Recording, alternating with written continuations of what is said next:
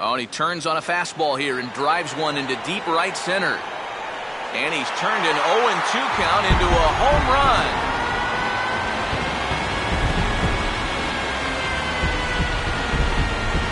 Solo shot to right center. Home run number five on the year. And with it, the Indians have leveled the score at one apiece.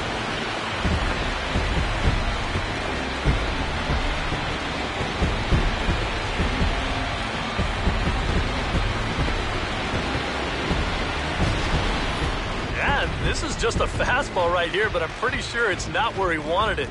This has got some elevation to it, and that's one of those where you know it's going to be a home run as soon as you